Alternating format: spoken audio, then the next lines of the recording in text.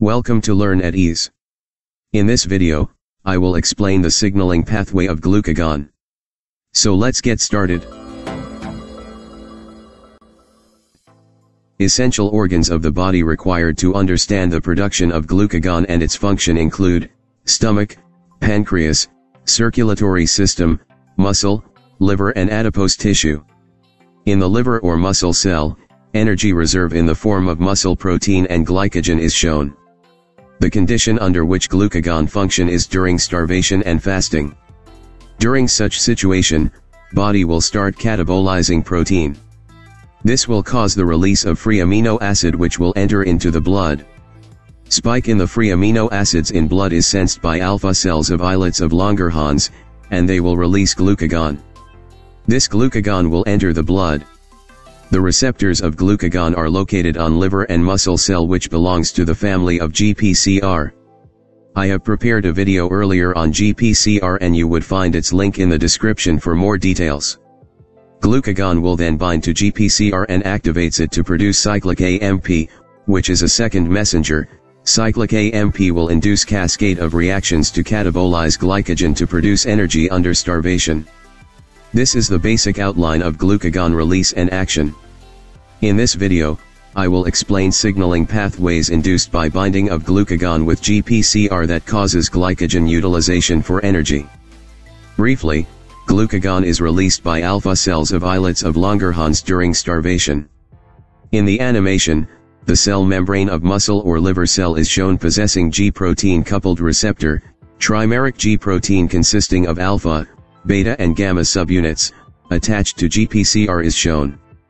Here the alpha subunit is attached to GDP and, GTP in the cytoplasm is shown in the free form. Lastly, adenylate cyclase as an effector is shown anchored into the cell membrane. When glucagon binds to GPCR its conformation changes.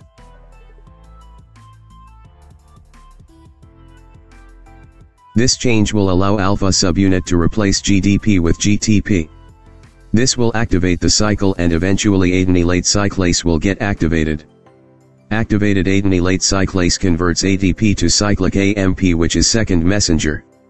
Cyclic AMP will further activate cascade of the reactions to induce desired effect in the cell.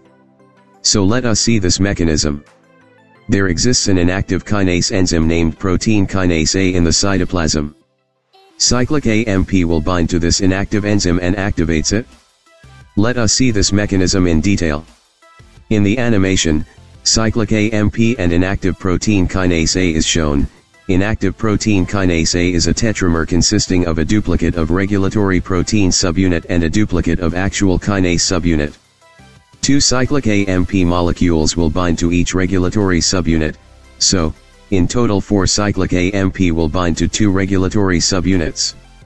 This will split active protein kinase A from the inactive tetramer.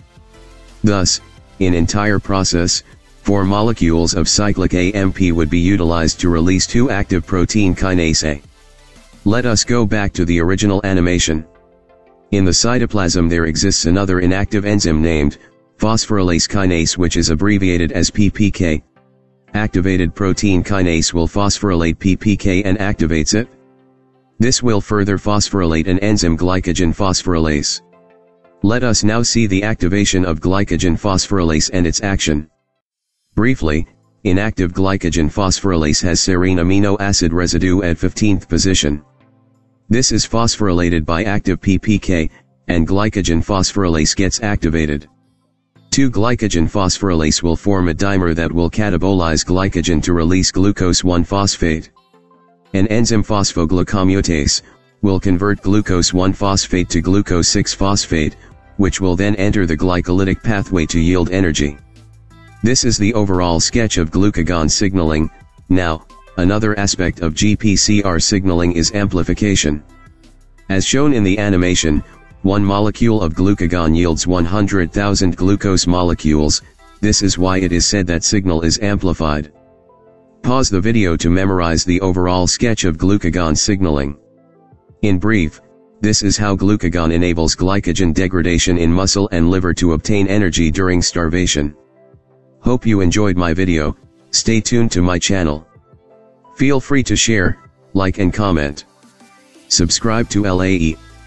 See you soon.